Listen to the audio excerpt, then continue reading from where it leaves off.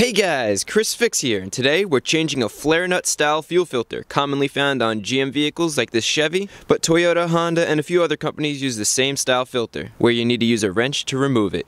Just like most cars, the fuel filter is located under the car, and since the Vette is so low, we're gonna go put it on ramps. And then anytime the car goes up on a ramp, make sure you put a block on the rear tires so it doesn't slide backwards. Now we'll come to the passenger side where the fuse box is.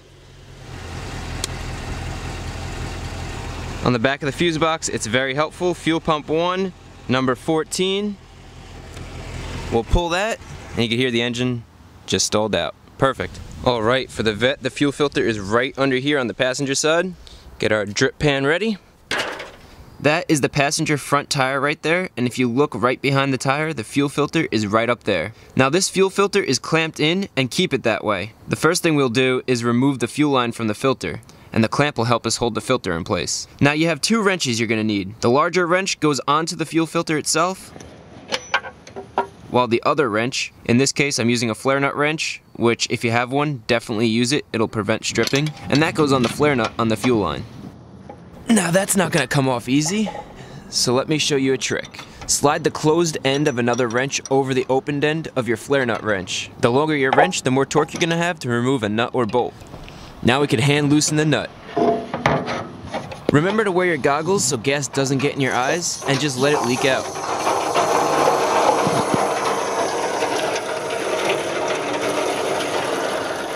And once it's finished leaking out, we're gonna go remove the fuel filter bracket bolt. Now just slide the bracket out and remove it. Now we could separate the fuel line from the filter. Notice on the other end of the fuel line is an O-ring. If your O-ring is dry, cracked, rotted out, replace it so you don't get a fuel leak. I'm gonna push this piece of paper towel in the filter to limit the amount of fuel it leaks. Now we can use the closed end of the wrench on this side and the box end on the other side. And break this filter free. Once you break it free, you can keep the wrench on the flare nut in the back as you turn the filter, since there's way more room to turn the filter than the wrench. And there we go. So that's our old filter and this is the new one. Always compare your parts and make sure they're the same. If you look at the threads on the old one, you can see after 30,000 miles, there's some corrosion, which made it hard to come off. So what we're gonna do is get some anti-seize on your finger and get some right in there and some on the other side and rub it into the threads. This will make it a lot easier to get off in the future.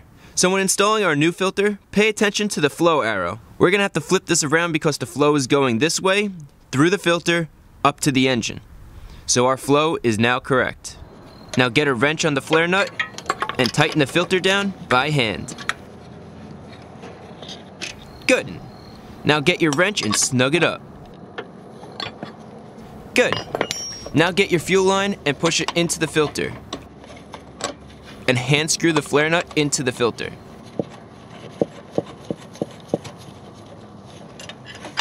Get your one wrench on the filter nut and the other wrench on the flare nut. And snug it up. Just like that. Now that this side and that side are tightened down, we can get our filter clamp and snake it back over the filter.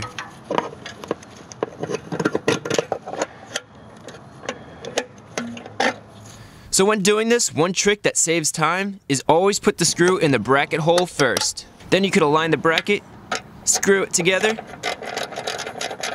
and tighten it down. Good. Now remember to use a marker and write down the mileage so you have a record of when your filter was replaced. Alright, once you finish putting that fuel filter in, don't forget to put the fuse back in. It just pushes back in close the cover up, and let's test it out. Now don't immediately start the car. Turn it to the run position, wait two seconds, then shut it off. Repeat this twice so the fuel pump fills the filter and builds up pressure. Now you can start her up and we're gonna immediately check for leaks. She's leak free, so job well done. After watching this video, you'll be able to change your fuel filter and keep your vehicle in tip-top shape. Hopefully this video was helpful. If it was, remember to give it a thumbs up.